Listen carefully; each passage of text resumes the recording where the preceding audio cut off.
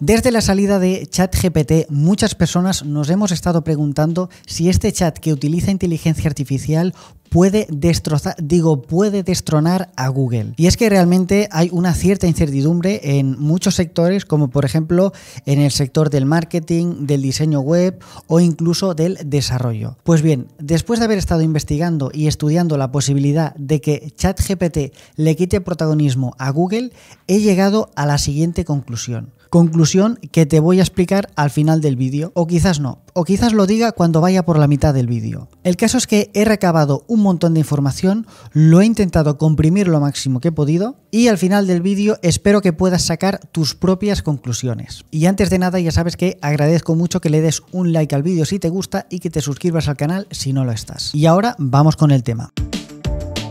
Antes de entrar en materia, es necesario eh, saber de qué estamos hablando. Es necesario saber qué es eh, ChatGPT. Si no lo sabes, cosa bastante improbable, te dejo un vídeo por aquí donde lo explico bastante bien. Y para entender de dónde viene toda esta polémica sobre Google y ChatGPT, también es necesario hacer un repaso a las últimas noticias que han salido en los medios de comunicación, como por ejemplo el New York Times, el Business Insider, CNBC y otros más, donde anunciaban que ChatGPT y el avance de la inteligencia artificial representan una amenaza para el modelo de negocio de búsquedas de Google.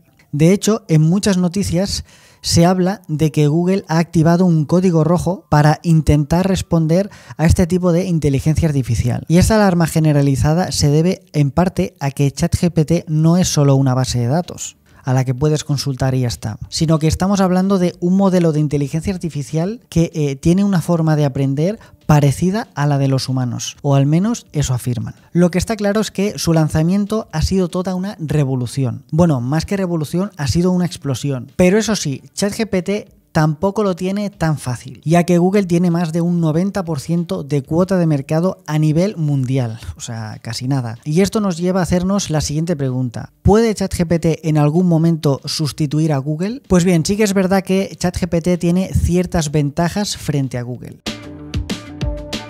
Por ejemplo, podemos realizar algunas búsquedas de forma bastante más rápida que con el buscador de Google. Además, ChatGPT hace cosas que Google no puede hacer, como por ejemplo crear código por ti. Es decir, puede crear código mediante una instrucción sin la necesidad de saber programar. Esto ya lo he enseñado en varios vídeos y la verdad es que es una pasada. Otra cosa eh, que puede significar eh, una clara ventaja es que además de ser eh, un chat, puede significar toda una herramienta multiusos para muchos sectores digitales o offline, ya que podemos hacer prácticamente de todo. Podemos generar títulos eh, para nuestros artículos, para nuestras publicaciones en redes sociales. Podemos, por ejemplo, hacer búsquedas de palabras clave, eh, clasificar y categorizar, eh, hacer fórmulas de Excel, crear textos automáticos, reportes, emails, un montón de cosas. Pero bueno, esto realmente ya lo hablaremos en otro vídeo, que por cierto te voy a dejar por aquí, y verás los usos que le puedes sacar a esta herramienta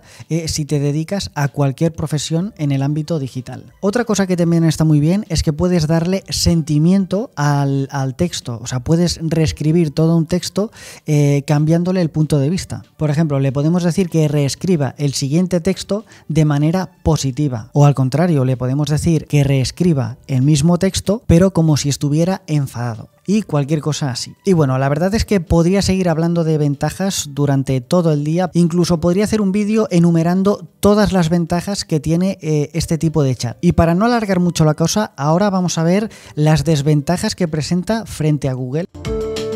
ChatGPT es un servicio muy reciente y de hecho eh, actualmente es una beta, lo que significa que está en continuo desarrollo y por lo tanto puede presentar errores. ¿Vale? Además, eh, por otro lado, ChatGPT no tiene la fiabilidad que tiene Google, ya que solo muestra un resultado y aparentemente de una sola fuente de información. En ocasiones, pues, eh, por ejemplo, vas a querer o vas a necesitar acudir a diferentes fuentes de información para comparar. Y en el caso de Google, pues siempre puedes comparar eh, diferentes fuentes. Luego, otra cosa importante es que este chat o este tipo de inteligencia artificial no distingue entre una información verdadera y otra falsa. de momento. Y esto, pues claro, puede ser un impedimento, sobre todo a la hora, eh, pues por ejemplo, de detectar respuestas trolls. Y el anterior punto nos lleva al siguiente, y es que para utilizar ChatGPT, en la mayoría de casos, necesitas conocer la respuesta. Esto eh, parece un chiste, pero no lo es. Cosa que no pasa lo mismo con Google, ¿vale? Además, la información que tiene ChatGPT está limitada y este modelo de inteligencia artificial solo está entrenado hasta el año 2021. Entonces, claro, no podemos obtener respuestas de manera actualizada. Y si hablamos de datos, Google tiene muchísimos más datos que ChatGPT.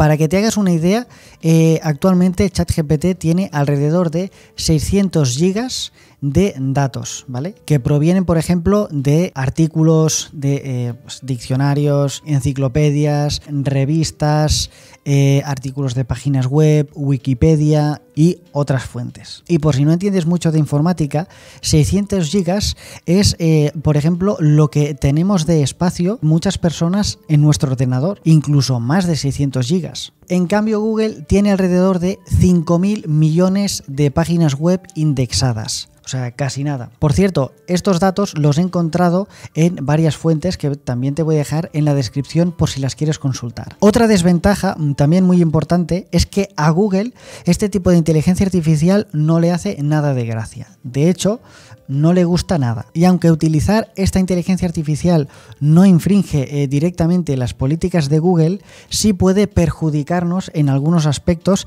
si lo utilizamos eh, de forma no correcta, como ya he dicho en vídeos. Y además, muchos profesionales del SEO creen que Google se va a poner eh, muy duro con el tema sobre todo con el contenido autogenerado con la inteligencia artificial. Y bueno, llegamos a la conclusión final, no sé si estabas esperando o no, pero ahí va. Lo que muchas personas tememos de esto es que Google pierda protagonismo y la gente deje de buscar en Google y utilice ChatGPT. Esto podría suponer un golpe muy duro a la mayoría de páginas web que están posicionadas actualmente en Google o en otros buscadores, ya que afectaría directamente a la publicidad, que es la principal fuente de ingresos de la mayoría de páginas web. Por no hablar de otros sectores, ya que ChatGPT no solamente puede afectar a nivel online, sino también en el terreno offline. De hecho, se ha demostrado que puede presentar un peligro para eh, sectores o para profesionales relacionados con la docencia, relacionados con la consultoría o incluso con la medicina. Pero de eso hablaremos en otra ocasión. En fin, como he comentado al principio, espero que hayas podido sacar tus propias conclusiones y vamos a estar atentos a las próximas actualizaciones, a los próximos avances de esta eh, tecnología y esperemos que no pase como en la película del Terminator. Nos vemos en el próximo vídeo. Adiós.